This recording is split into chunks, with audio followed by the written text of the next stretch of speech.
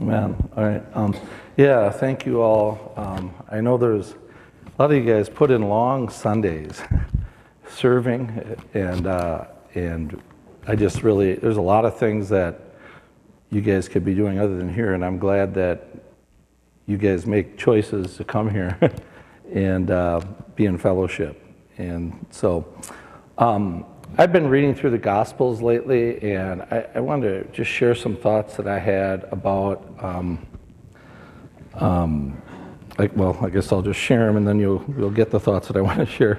But um, I'm looking. I was looking at some verses on Mark. I'm on Luke right now, uh, but I was reading through some the first chapter of Mark, and I don't have the verses here, but you guys can study this. And I was just thinking about kind of the inauguration of Jesus's of Jesus's um, ministry, and it's really it's really easy. I don't know if you guys ever do this, but it's really easy to say, "Well, it was Jesus. You know, he's God. You know, of course he had it together." But it's really important to know. We're going to see a verse here later that he he humbled himself and was he was fully human, and he really had he struggled like we do.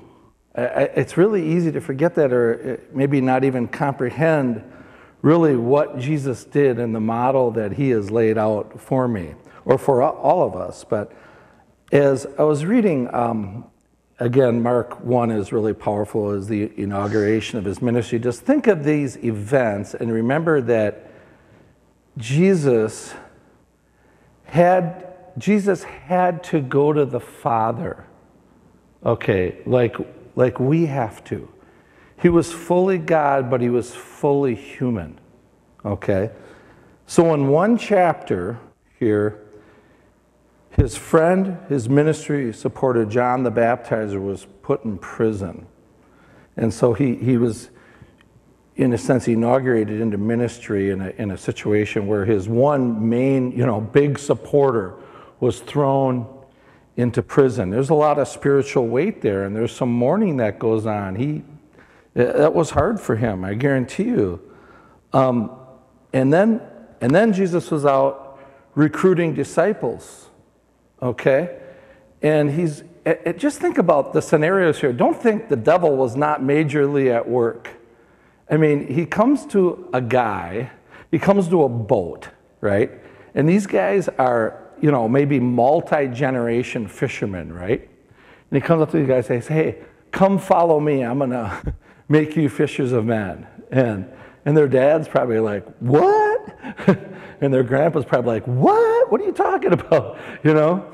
And they left their nets and they followed him, you know, and he and he recruited them and he was working and then he was and then he was teaching. He was teaching in the in the synagogue and, and like Jack was, I really could relate to what Jack was sharing today. He said, Do you know how hard it is up here? I'm not saying that like it's hard, like, oh you guys, oh Brian, it's really hard for you. But I could so relate to what he was sharing days. You know why it's so hard?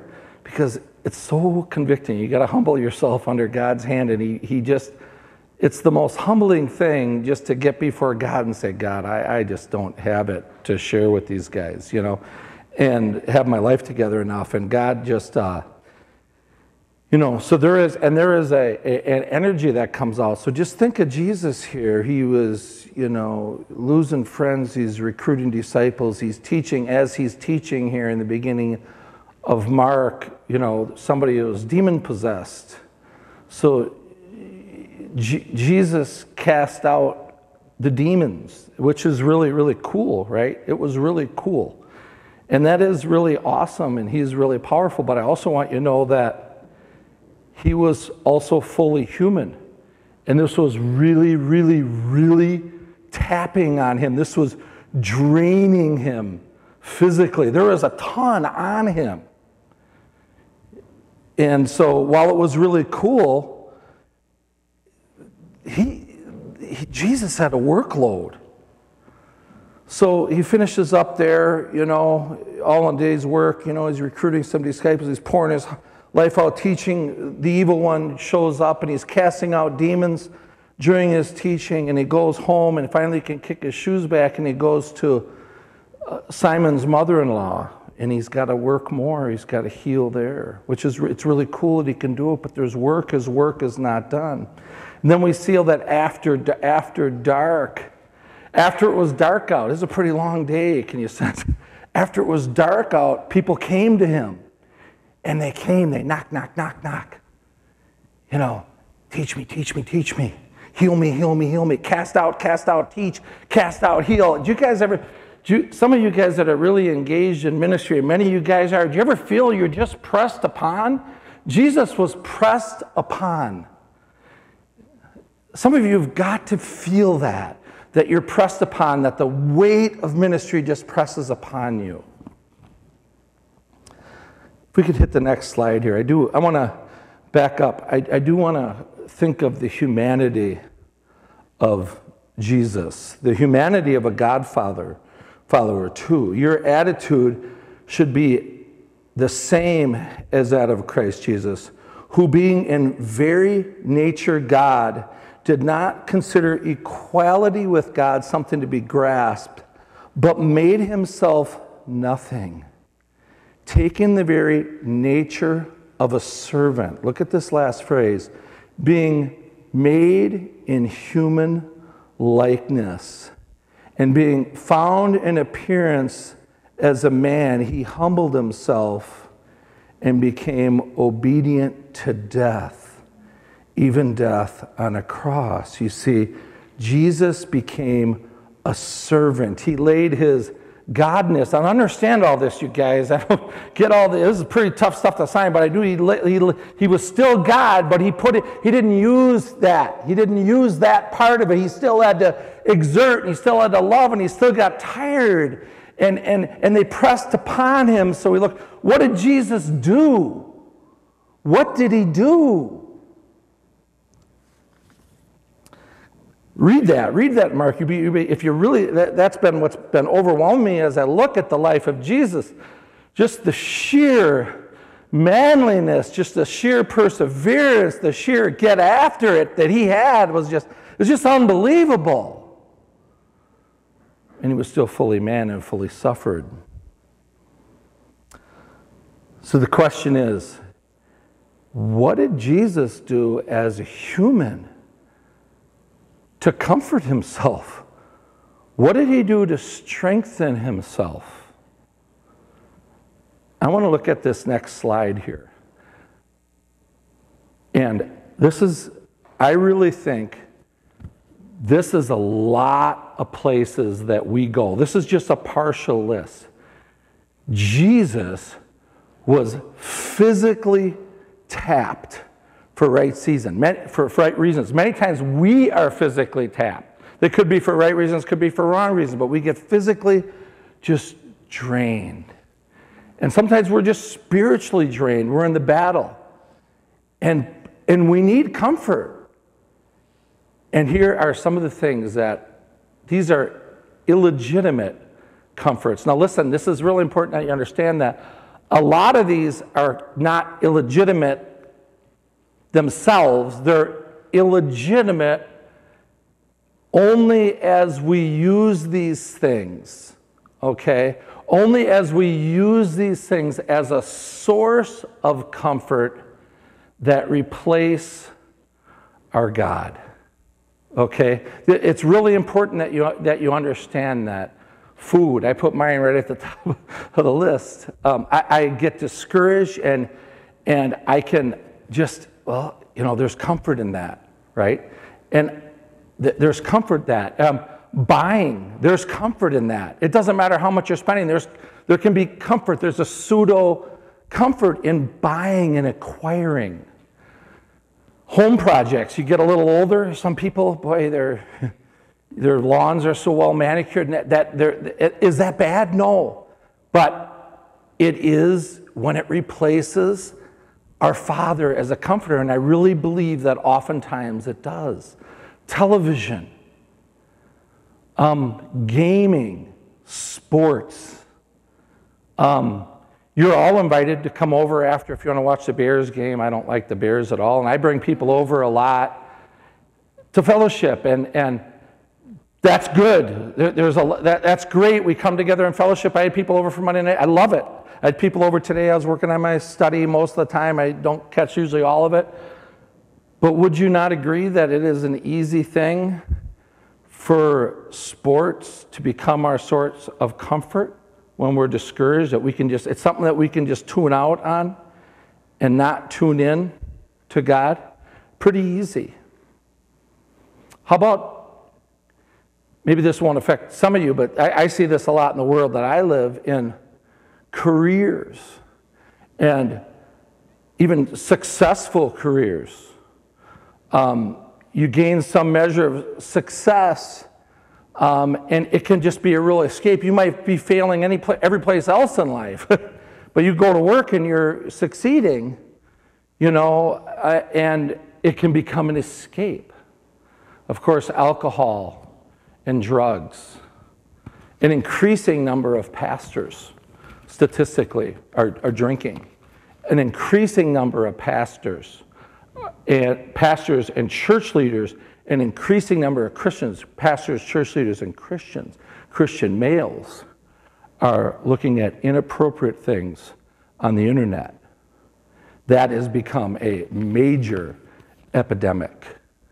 And it is, it's instant gratification. It's instant, oh, this kind of feels good. And then it, it is just, it's just horrible. As you know, anybody that's succumbed knows it, it's horrible for your soul.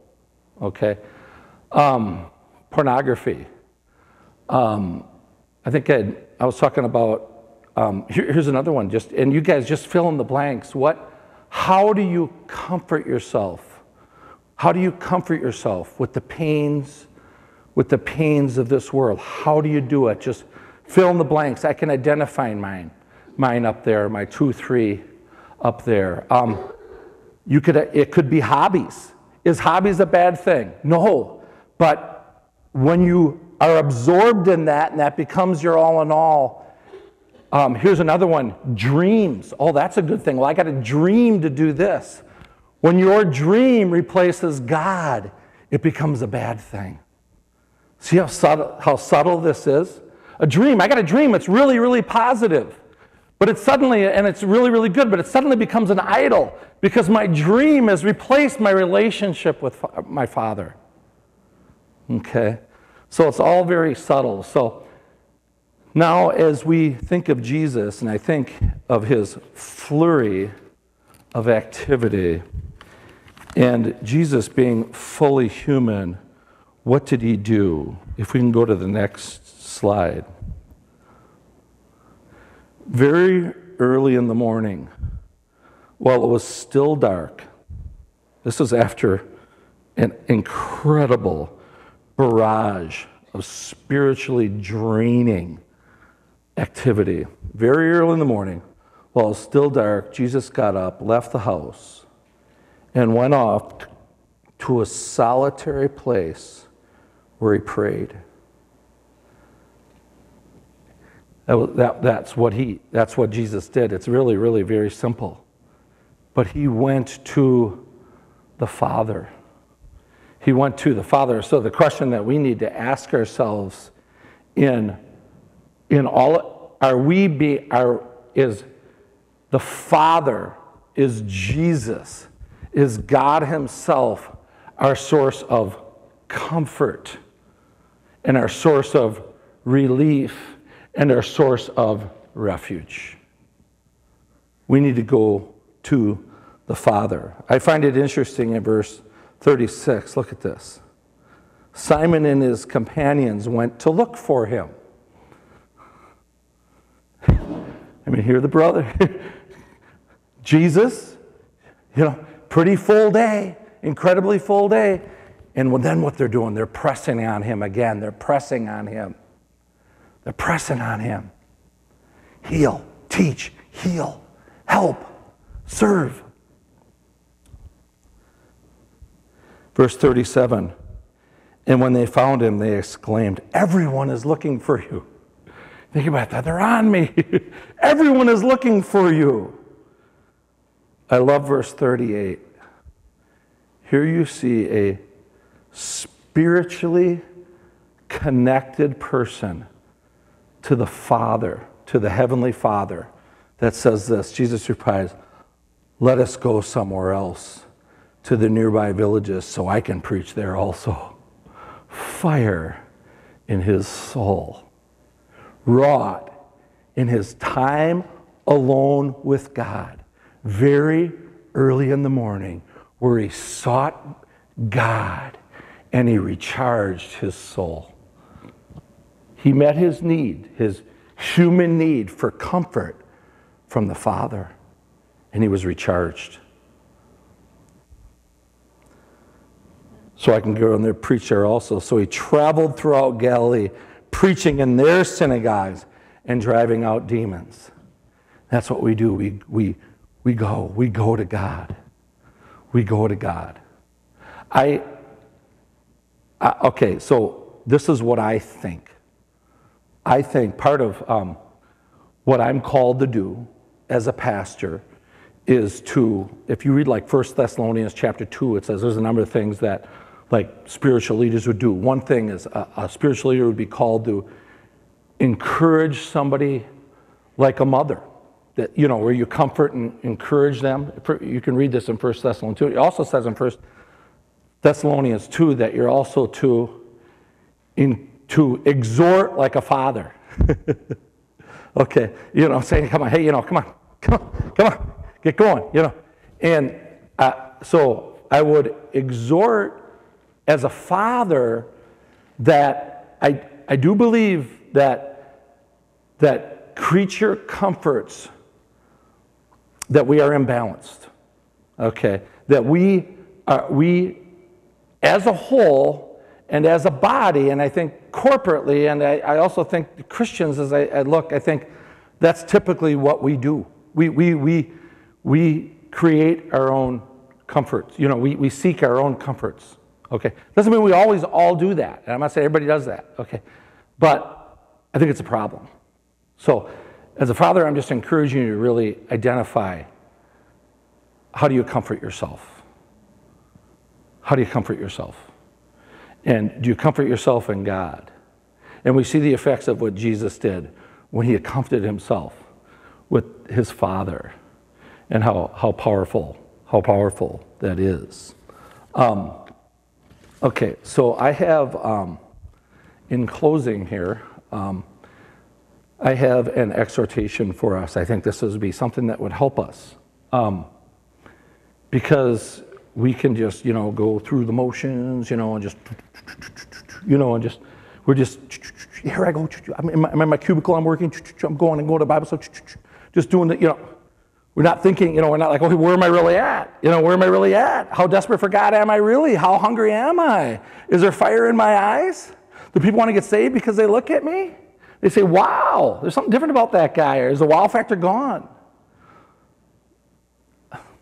I know in my life, I think the wow factor has, has been some water sprayed on it, you know, on the fire. Okay, and so, and I think I've, I've, I need to go back to God a lot, go straight to the source, you know, in a lot stronger way. This is what I'm encouraging us to do. Um, for those of you that would like to participate and are able to participate, um, just call a fast for tomorrow. Um, and um, the purpose of the fast would be um, just to, to connect with our Father and to ask God to help, help us to, rea- to understand where, where we are going to other comforts other than Him, other than the God of all comfort. Okay, so our text here says, when you fast, okay, so it's implied that you do fast. Do not look somber as the hypocrites do, for they disfigure their faces to show men they are fasting. In other words, don't do it for the external. Don't do it because, oh, wow, you know, I'm gonna, you know, somebody told me to fast, I'm doing a fast, you know, I'm gonna be like really spiritual or whatever. No, we wanna, we wanna see God. We want to have God. We want to. It, it, it's like a um, kind of like a tire alignment, you know, where uh, you know, where we, or it- it's a, a help us to wake up. It's not like, it's not the end to anything. It's a start of rejuvenating our relationship with fa- our Father, okay? So um, the point is not that we just starve ourselves, okay? I, for one, being such a lover of food, have a hard time, really hard time fasting. I really do. Um, some of you guys can, it's much easier for you. Um, here's an example. You don't, you, just to be real practical here, you, you wouldn't, let's say, for instance, some people might not have some, may have some health concerns that they, they would have to do like a modified fast, or if you're pregnant, I don't know what, never been pregnant, I don't know the rules for all that, but, but that the issue is not the legalistic aspect of, um, you know, not eating. The, the, the idea is, is that we are not eating so we can focus and God can show us our need. And when you're hungry, you're gonna be like, oh, what is my, how do I want to get comforted? it, it can help to reveal your flesh, okay? And then also just to draw us to God, you know, and it just even frees up the time to draw us, to draw us to God. And um, so, if you guys would join me in that, I, I think that would be really good. Uh, it says, But when you fast, put oil on your head and wash your face, so that it, will not be obvious to men that you're fasting, but only to your Father who is unseen. And your Father who sees what is done in secret will reward you. So, the goal of this fast is very specifically that we would all collectively in an increasing measure, look to God as our all in all, and that He would be our source, that He would be our source of encouragement. Okay? So, why don't we pray? Okay? Lord Jesus, I thank you for your tremendous um, love. God, I thank you that you, God, what you did there, what Philippians describes, God God, the account of you